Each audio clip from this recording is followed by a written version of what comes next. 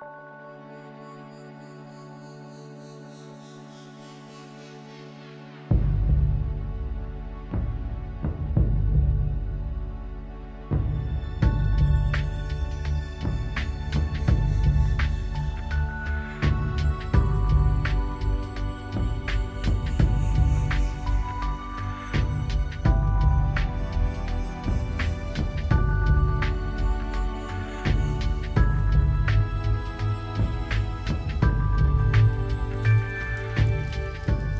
The Estria Foundation's latest project, Mele Murals, was recently completed in the small town of Waimea on the island of Hawaii. Mele Murals is a series of murals that we're intending to do across all the islands. The larger goal is to build and sustain a public art movement. So each place that we go paint a mural, we're partnering with youth from that area, high school age. The first school to participate was Kanu o ka 'Āina New Century Public Charter School, where the students were involved in a week worth of intensive workshops. You're officially the first mural, so we're very excited to try to do this with you. I want you to understand that this is your community, this is your town, this is your island. We can share with you how we paint, how we ground and connect and ask for guidance. Um, and we hope to just share with you those things so that you can then tell your stories, that you're the storytellers for your people. The students were challenged in many ways. First, being tasked with selecting the mele or songs and chants that were to be depicted for the mural, as well as conceptualizing the imagery.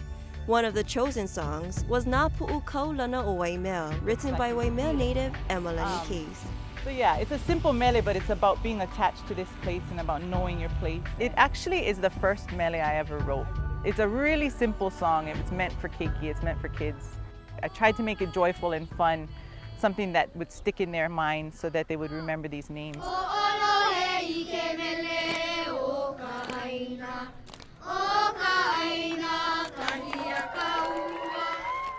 For me, I play with words, I play with language, and I try to take what I see in the external world and put them into words, and then to see them then retranslated into images is amazing. The next step was finding a space for the mural to exist, and local art house Kahilu Theatre stepped up immediately.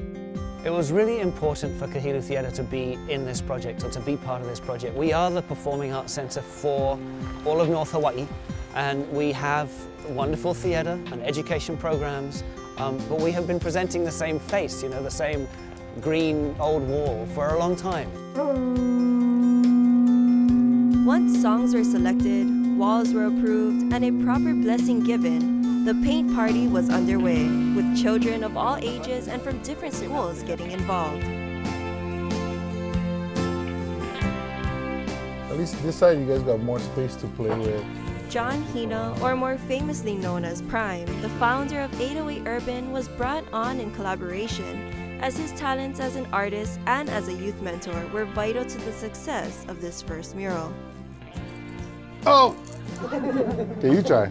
My intention for this was to surrender all my own personal thoughts and the way I would usually envision the mural happening and kind of like keep my mind open so that that way their knowledge and their vision can come into me, through me, and then through my hands. We divided this wall into eight different sections, or um, the Makawalu, the eight, the eight eyes, eight ways of looking at things. After three long days and late nights of painting a surface area of about 1,635 square feet, it was time for the mural to be showcased at an unveiling event, which again, the students were put in charge of organizing. Well, I feel like it's important for our community to have an event like this because we're not so used to it. It's not only us unveiling a mural or sharing mo'olelo, but it's also bringing us as a community together. And I think that's a pono way to do it is through our mural.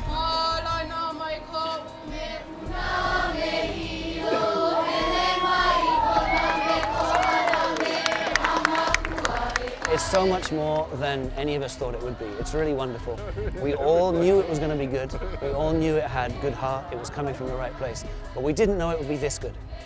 We didn't know it would be this good. We didn't know how many students were going to engage with the process, um, how much a part of and oh, it, it, it sprang from.